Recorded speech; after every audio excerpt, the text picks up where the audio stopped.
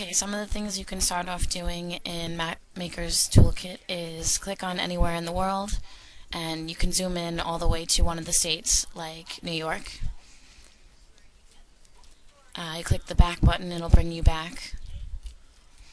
Um, if you click on current maps, you can type in anywhere in the world, such as Spain. Click display, and it will bring you to that place in the world. So here's Spain. You can also click on layers and click cities, rivers, and river names, and it'll bring that up on the map.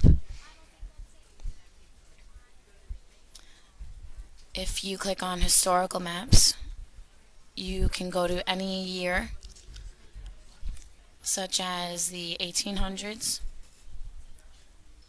And if you click on the United States in 1800, it will bring you to that map. So we will just add in some layers here. The cities and the rivers and river names again. You can also go to different dates like 1868. If you click on theme maps, you can go to population density. So we'll click on North America. And this shows the population density of North America. Uh, the legend shows the different colors and what they represent.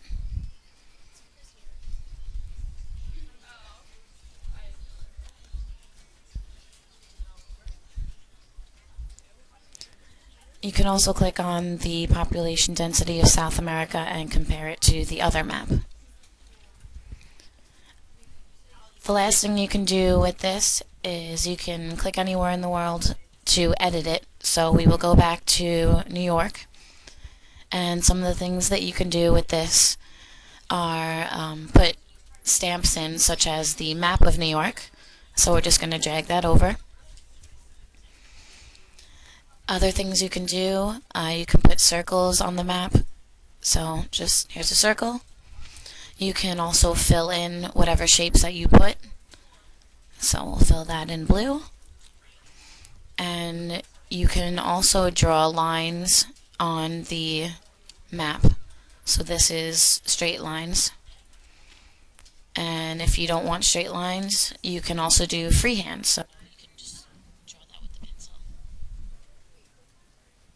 Using Mapmaker's Toolkit in the classroom. One of the things you can do is comparing historical maps if you go to historical maps and location and scroll down, you can choose a bunch of different places. We'll show South America in 500 and hit display, and it looks like that. And then, you know, for comparison, you can show it again in 1650. And see how the political boundaries have changed and then if you hit historical maps again, can fast forward another couple hundred years, and that will show South America in 1824, and you can see it's changed a lot again. Then, if you go to a map of Spain, for example, you can ask students as a method of expression to mark in something like the capital of Spain so they can use the star stamp for that. And they position it where they think Madrid is, and then use the pencil tool, pick shape that they want the pencil to write in, and then they can write Madrid there.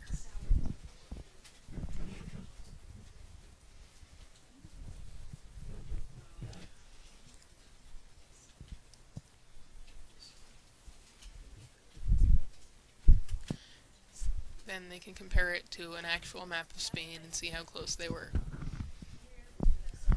What makes mapmakers not a good tool? One of the big problems with Mapmaker's Toolkit is when you zoom in, you can only zoom in to a certain point. So if you wanted to see like regional things of certain places like Sudan and Brazil, you know, there's not much you can really see. There's not much detail on the maps at all. What is the relative advantage of MapMaker's toolkit? You can draw directly on the map as opposed to using a textbook in which you would not be able to draw on the map. Um, on a chalkboard, it would be difficult to draw that whole country, such as Spain.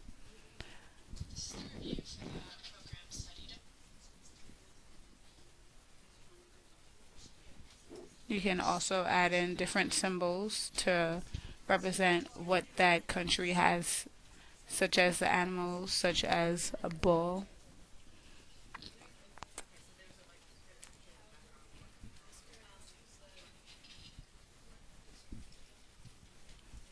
You can also add in crops as a symbol to show what's the main um, food grown.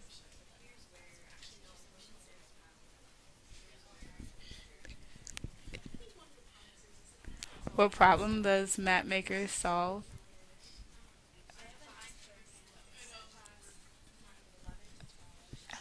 It has different themes for maps, and once again, you're able to um, draw directly onto the maps. And for this map, you're able to pick the vegetation, and you're able to add in which uh, specific symbols you want, such as an apple.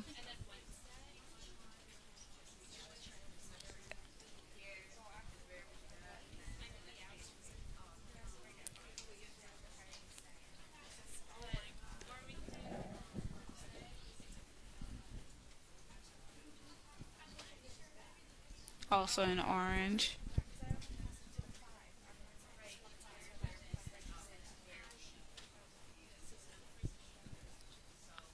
Also a pineapple.